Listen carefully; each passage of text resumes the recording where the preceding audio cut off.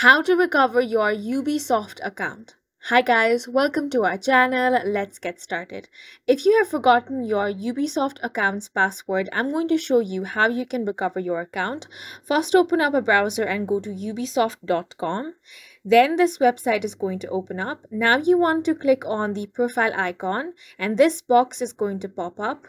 Over here, if you remember your password, you can simply log in. Otherwise, click on forgot your password.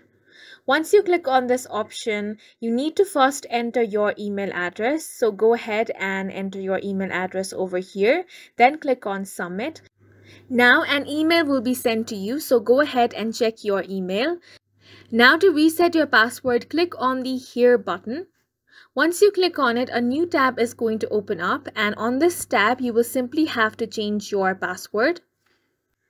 So now you can create a new password. Make sure that this password is a strong one and it also should match all the criteria. Then you can enter the password again and click on change. After this, head back to Ubisoft website and then enter with your new password.